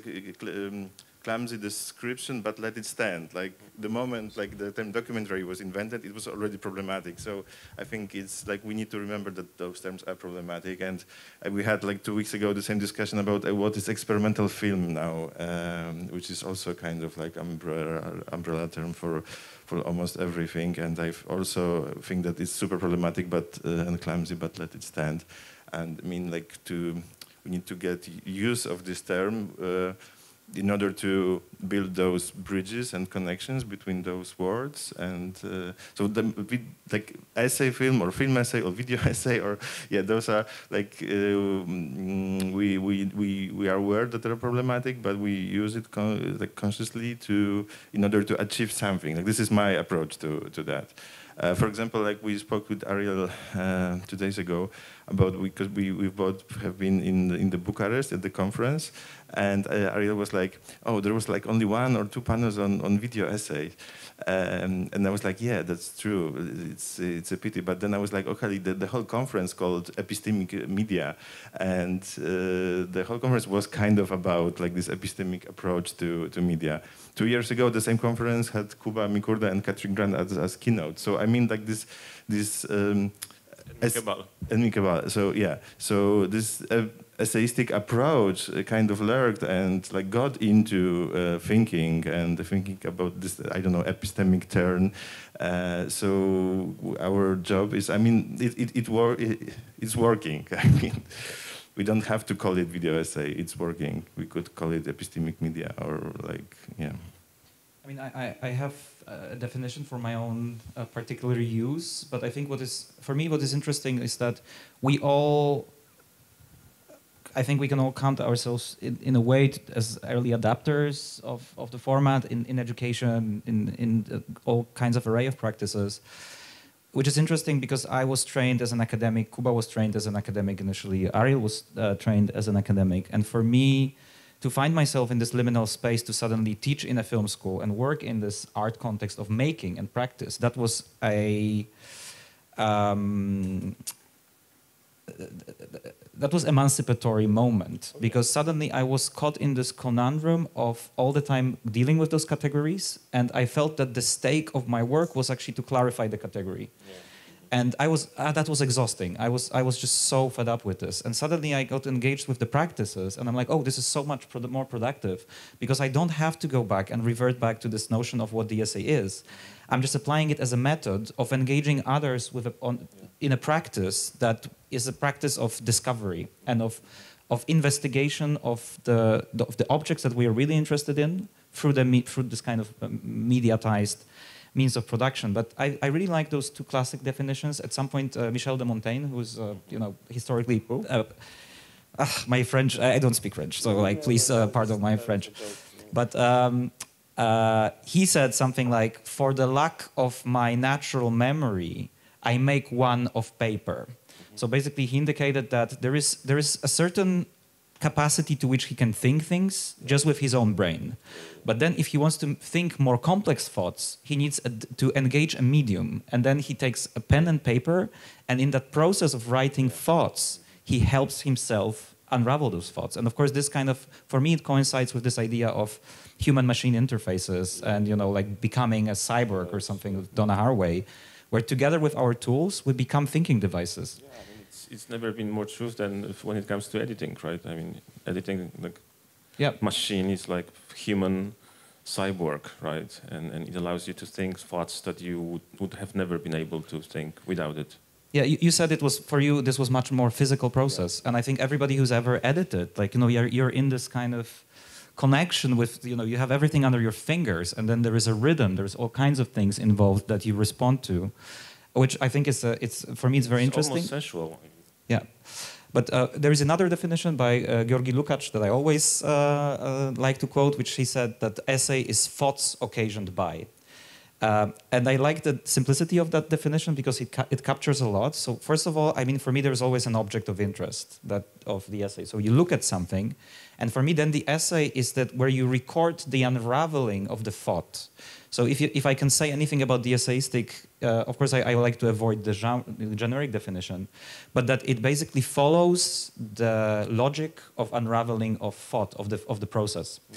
And that is essay as a method, so like as a method of research. But for me, what happens when you actually make an essayistic work is that you try to translate this experience to the audience. So basically you invite the spectators to follow the process of research or the process of unraveling of thought together with you, which is very interesting as, a, um, as an artistic question because it doesn't translate one-to-one, -one, something that you, you discovered having certain interfaces at hand and through the process of uh, editing and kind of lengthy exposure to the material will not translate the same way if you just show it on screen. So you have to find ways to invite the audience to think with you.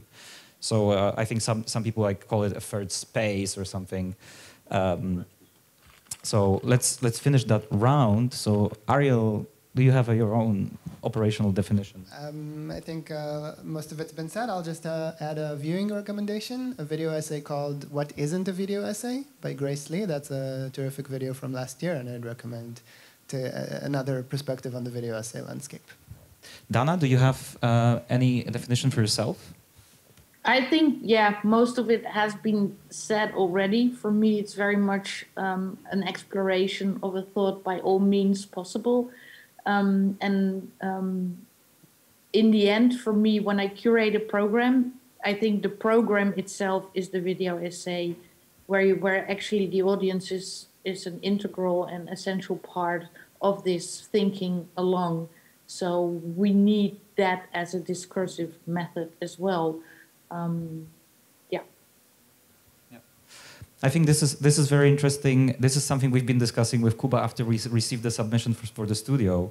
That this term of essayistic can open up possibilities of thinking different pra practices differently. So we thought like, okay, there is now a friend of ours who is enrolled in this uh, also group on the essay in like performance as an essay, Agnieszka Jakimiak uh, like all kinds of people are discovering this term and applying it to their own practices because I think it just unlocks something and you know this this uh, you know the dare to to experiment and and really to acknowledge the medium in which you're working as an epistemological tool um, as well. Uh, so yeah, curatorial uh, practices as as essayistic practices. That's I think. Um, a very important uh, um, and interesting uh, subject as well. Do we have more questions? Please, yeah, there is a question in the back. Let me add a bit of history. I'm one of the representatives of the Film Form workshops. My name is Lechosław Członowski. I always worked with uh, uh. So I'm very happy that you are continuing. Uh, today it's called an essay. Uh, we called ourselves the Film Form Workshop, and we were essentially uh, a school club or an academic club. Uh, today, you have more means. There has been an evolution in electronics. Back then, the film, film tape was very expensive. We were working on 35 millimeters. So, in order to do it all, but also to avoid accusations, we simply said, it was a workshop on film forms, and we often staged provocations during our performances. And we would say, okay, the form is here, but where is the, the man? Where's, where's the person? Uh, just to rev up the audience a little. And at the film school, school my colleagues, our colleagues from other studios, referred to us as the mathematicians. And nobody asked us what we were after. Um, we were neither from the same year, we were neither uh, of the same background. Our paths crossed on Targowa at the film school. We applied here in order to make films, but we decided that what was taught here at the time was merely um, translating literary texts into visual language. And to us, that was too little. This was back in the 70s. And already an evolution was started in terms of equipment. Uh, so you could rewind um, without all the mm, toying with VD-Cons. So te new technical possibilities emerged. And we decided that a graduate of this school should be have universal uh, capacities, universal skills. So not only turning literary text into film sequences, that was too little. This is why graduates of the cinematography department had an advantage. Kruszczyński um, narrowed it down to four people. There were also directors involved in the workshops. The first Oscar for Poland's Rybczyński, this was a workaholic. And it was not surprising that he came up with all those things. So at the workshop, we even talked about computer games, which didn't exist in Poland at the time. Andrzej Barański, Marek Kotarski, they all took part in our group. in our formal or informal group, um, depending on how you look at it. So this is the second day of the conference, and I'm so happy that you are continuing this in some way. Of course, you have some comfort as academics. You're expected to produce results, predictable results, and films are a commodity, like much like books, like text. That is simply the case. We're not making the films for our own comfort. Uh, but to be shown out there. So if nobody watches the essays, there's no dialogue, nothing comes out of it. So, without mm, just to keep things short, I'm very happy that you are continuing and that you're using the term essay. Essay is a very wide ranging, capacious word. It's an umbrella term, as you said. Congratulations uh, that you have, you're able to procure funding um, I don't know what will come of it. Uh, if, if you say in the application form, I don't know what the end result will be. That's impressive that you you managed to get funding that way. So congratulations. And I'm a huge fan of yours. And maybe I'll come back to the school and attend the workshops. Thank you. And thank you so much for this voice. And I think there is a continuity in attitudes, and you can actually see those moments and essayistic moments like sparking in history uh, in, in, a lot of uh, uh, times. What is interesting is, I think, this uh, remark by Laura Mulvey as well that um, when she was looking back at her own practice, and she says, like, yeah, they all have their, their own specific media moments. And what you just said about the the scarcity of uh, of the means of production. So like you know the the the film was just more expensive, and the access to editing tables was was uh, was more scarce. So I think the this kind of new resurgence of of video essay right now brings it with it different forms, but it's the same attitude I, I would uh, say. And of course, before that, in the 50s, we had this whole uh, uh, movement uh, in France, which, which was labeled I mean, it, it was sparked by this idea of camera stylo, which is the camera as a pen, and literally trying to uh, to treat the the camera as a as a tool of note making. Um, that of course uh, Chris Marker, Agnès Varda, and, and those left bank uh, um, uh, new wave filmmakers uh, come from this from this tradition. There is a there is a great text uh, as well by Laura Mulvey called uh, "Death 24 Frames per Second, where she's actually and then the, the pensive spectator when she's actually describing how, for example, the invention of DVD uh, enabled some of those media practices that you know slowing down you know and, and uh, the dissection of, of, the film that suddenly enabled different modes of, of viewing. Which is also interesting if you look at the school at the seminars that Grzegorz Królikiewicz was running here back in the day which was unique in its own right because when they were held now we can all pause and rewind and fast forward. But back then, in order to dig into those films so much as those students in those seminars were, you actually had to have editing tables at your disposal and really like stop the movie and uh, and do that. So like this kind of close analysis were not done uh, very often uh, at the time. So yeah. Uh, we are all fans of uh, of uh, Warsztat Formy Filmowej, so you know, thank you for for uh, setting up the foundation for, for those practices uh, in, in, here in school. Uh, there was another question uh, right there. Mm, hello, and thank you for the presentation. And I want to ask quite a tangential question, I think.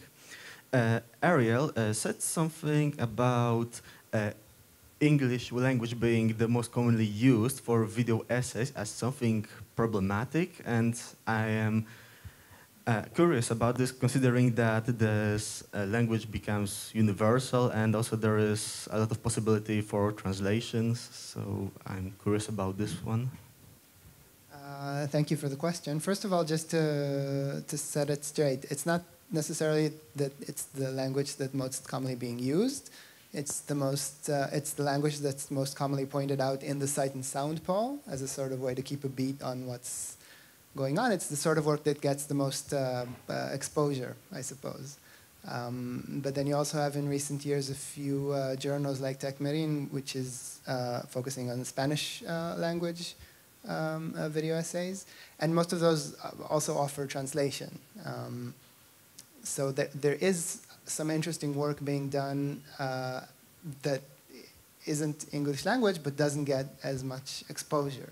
Even video essays that are uh, subtitled in English don't get as much exposure as ones that are in, in English language. I can say that even in, in Israel, most of my students, or a lot of my students, make their own video essays in English, which is great on the one hand. That's great. They can get more exposure outside of the country, but perhaps something gets lost when you, from the start, give up on trying to use your native language and perhaps also addressing your native uh, cinema.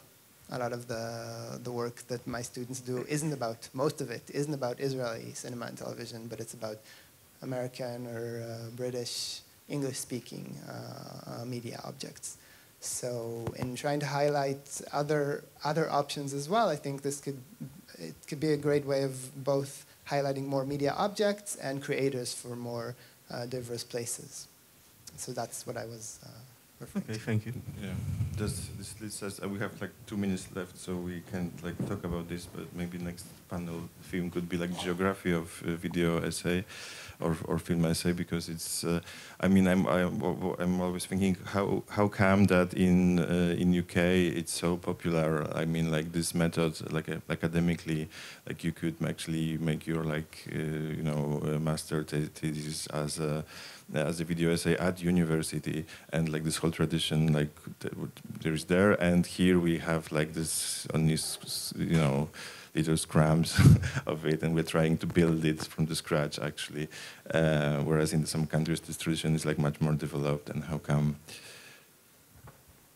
Yeah, I, I, maybe to, to round it up, I want to say two things because we actually had a comment uh, also on on the chat on YouTube from one, one of the members of the of the essay film studio uh, who was the free listener, and it's a scholar from South Africa, uh, Alet Shun, and uh, she wrote as a message that basically based on you know the, the talks that we had in the seminar, she developed a course uh, about Nollywood, uh, which made her students engage with the uh, production practices in Nigeria and South Africa uh, through this essayistic framework. Uh, so I think in terms of like you know geographical, I think like uh, I was very happy that we had all these uh, applications from all around the world because I think that enriched our uh, like little circle and and this this attempt at at nailing what the essayistic could be. And I just wanted to respond a little bit to also to that previous statement. I think that the one uh, important thing to, to highlight is that there is an audience, actually. Uh, you know, that's not a concern. Uh, the thing is that if we think normally about those screen practices that we produce in school, as we said before, they are produced for cinema screens. And maybe at cinema, there is not, not so much audience for this kind of essayistic works, but there is audience online. And the most popular channels on YouTube, they have hundreds of thousands of views, like, you know, every frame a painting, or uh, yeah, millions even. Uh, uh, Kevin Lee, who made the first uh, video essay blockbuster, I think, with uh, with the Spielberg faces, he broke, I think, six million at some point, and the video was taken down. And now I think all the re-uploads have over a million views. So there is an audience for it, and it's interesting because it is, it is also a viable alternative to, to academic practice because scientific article, like let's not fool ourselves, it's being read by 50 people if it's written in Polish, if it's written in English, maybe 200 people around the world. And those essays are being much, seen much more than, than this. So that just to kind of round it up, uh, going back to those uh, to this uh, sentiment that my student expressed, uh, about you know filmmakers or like image makers being those people who who really professionally or or as you know as as the, kind of out of love engage with with images in their practices. I really imagine this kind of image maker of the future if we're talking about the future as someone who's versatile who can create uh, who comes from who can come from whatever field who can create a movie uh, you know every couple of years but also can produce any other media uh, products or media media um, artifacts for different screens and different audiences and also in a kind of a different mode of reaction. Like you know we were always amazed by polish theater how quickly for example it reacts to to political issues all around us. But uh, film of course is much slower because of the production process but video essay can do that. Like i mean you can immediately react to to, to political to social uh, situation using the media and uh, we go back to the title of that uh, session today. So the essay as a methodology of um, of analyzing and researching the the reality or the media reality around us, and we're done. Um, I would like to thank everyone for for coming here, for accepting the invitation. Ariel, thanks for for joining us in person. Dana, thank you so much. Uh, you know, despite my own shortcomings today, uh, that you you managed to to join us. Uh, thanks, um, thanks for being with us, uh, Kuba, Michał. Uh, thank you, and uh, you know, thank you for for uh, you know being on the journey all together, all, all, all of you. Um, and we hope that it's you know in one form or the other we'll get to continue. Let's continue over lunch break.